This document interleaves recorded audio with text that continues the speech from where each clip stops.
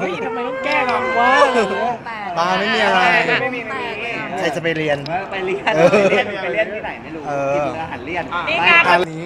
ครับลูกผอมลงแบบอู้เบยยังไงที่จริงมีโปรเจกต์ที่จะทำนะครับก็เลยลงน้ำหนักมาเพื่อเพื่อเพื่อเล่นบทในที่ที่ต้องรับผิดชอบ หายไปกี่โลครับ เกือบ20 แล้วครับภายในเวลากี่เดือนแล้ววะห้าเดือนสี่ห้าเดือน ยังไงอะใช้วิธียังไงอะ จริงๆเราก็ดูแลอาหารด้วยแล้วเราก็แบบออกกำลังกายเยอะขึ้นวิ่งฟาสหรือเปล่า ไม่ไม่ไม่ไม่ถึงขนาดนั้นอืม ใช่แต่ว่าก็แบบเปลี่ยนวิธีการกินเนี่ยอันนี้คือพอใจแค่นี้แล้วหรือว่าหรือว่าต้องเอาต้องเอาเอาอีอีกกผมว่าจะลงอีกสักนิดนึงตั้งเป้าไว้เท่าไหร่คะน้ำหนักขึ้นกับดูแล้วเรารู้สึกเออ อืมจากไม่ฮัชิวเออครับ จากตัวเลขเท่าไหร่พีชจาก 80นี่ตอนนี้ก็คือเหลือหกสิบตอนนี้ประมาณ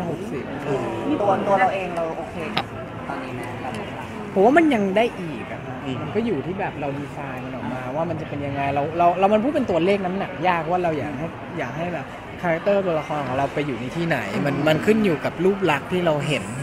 มากกว่าซิกแพคมาไหมคะ ไม่ได้เน้นตรงนั้นนะฮะเออผมพยายามอยากจะเน้นให้แบบตัวละครมันแบบskinny ไปเลยละครเป็นยังไงอะละครเฮ้ยเราบอกไม่ได้จริงของๆเขาไม่ให้บอก ไม่ของช่องใช่ไหมก็ไม่บอกไม่ให้บอกยังยังบทเองมันต้องทำให้เราดูผอมใช่สู้หรือว่าผอมจริงๆมันก็ผอมแหละ แต่เราอยากดีไซน์ layer ให้มันมีแบบ transition ของตัวละคร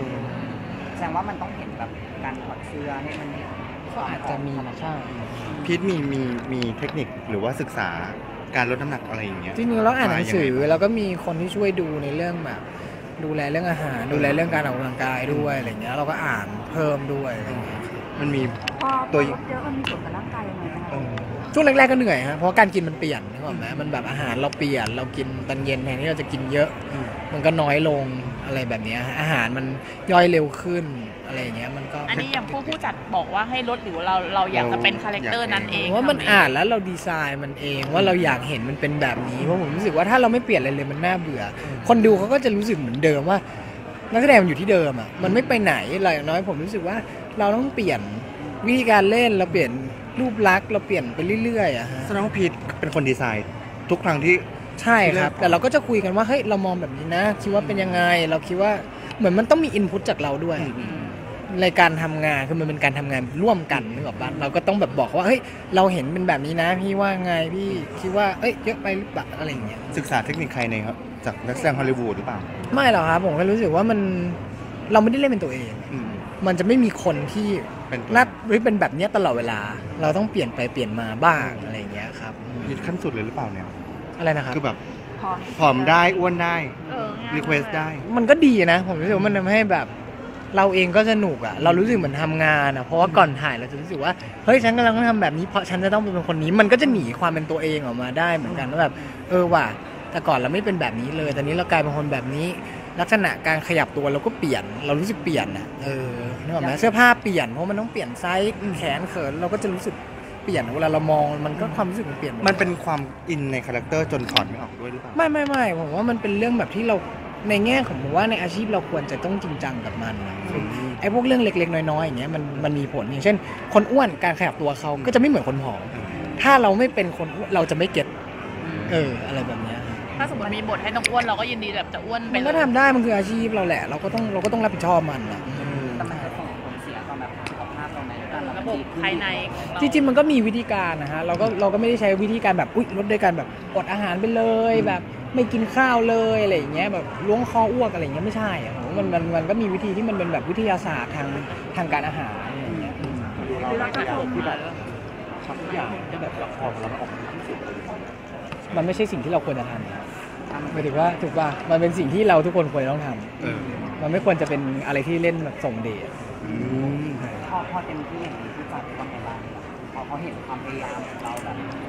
ผมว่ามันยังไปได้อีกมันยังไม่ถึงขั้นที่แบบมันจะรู้สึกว่าเฮ้ยมันดีเลยเพราะมันยังไม่ได้เริ่มทำการถ่ายทำยังไม่ได้เริ่มอะไรมันเป็นแค่ช่วงแรกผมรู้สึกว่า เออมันยังวัดอะไรไม่ได้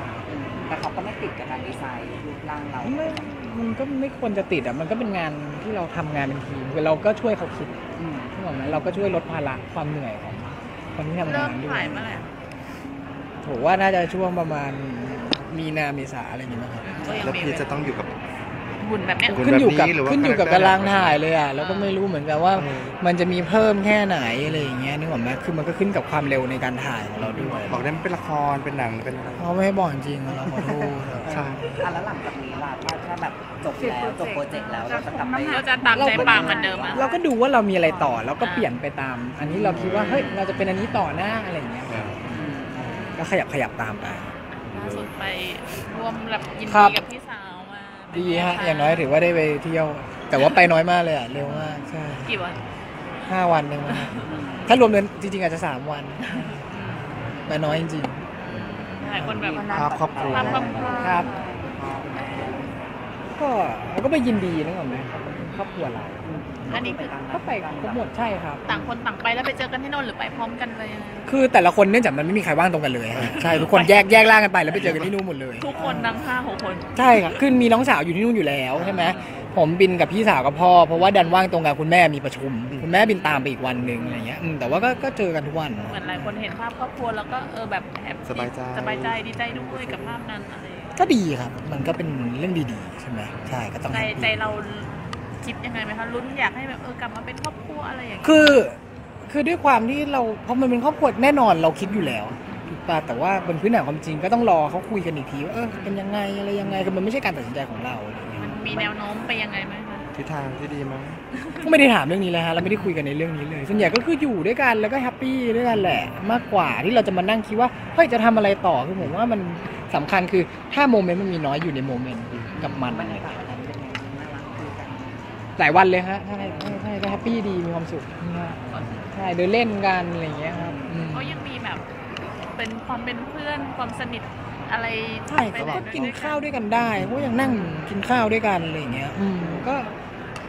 ก็คนเป็นครอบครัวกันมาเนาะอืมไม่รู้จะเกลียดกันทำไม แต่คุณแม่โดนจับตามองเยอะนะสวยแซ่บมากคุณแม่ผม เขาบอกเหมือนเป็นพี่สาวผมว่าแน่นมาก ผมถึงกับเครียด เครียดเลยเหรอ ก็แม่ผมเต็มมากเลย จริงจังเขาจริงจังมีเบรกมีเบรกแต่งบ้างไหมตัวมีเบรกความสวยคุณแม่ ไม่เบรกฮะ ผมว่าดีแล้วเขามีความสุขนึกออกไหมเพราะก็ดูดีแล้วก็แฮปปี้เซอร์ไพรส์กับลูกเขาเหมือนกันครับเซอร์ไพรส์กับลูกแม่ผมก็ตกใจเหมือนกันคือมีวันหนึ่งที่แม่ผมถามว่าจะแต่งตัวเหมือนฤดูใบไม้ผลิใช่ไหมคือจะแต่งตัวบางจริงๆอย่างนี้เหรอเออแน่นอนเราคิดมาแล้วว่ารับปริญญาเราต้องดูเออเรียบร้อเต็ม ต้องทนหนาวแสดงว่าต่างคนต่างแฟชั่นคู่กันใช่แม่ผมจะถามตลอดเวลาว่า กลับไปเอาเสื้อกันหนาวไหมอะไรอย่างเงี้ยกลับไปเอาเพิ่มไหมมันดูบางมากเลยนะ ไม่เป็นไรเราต้องจริงจัง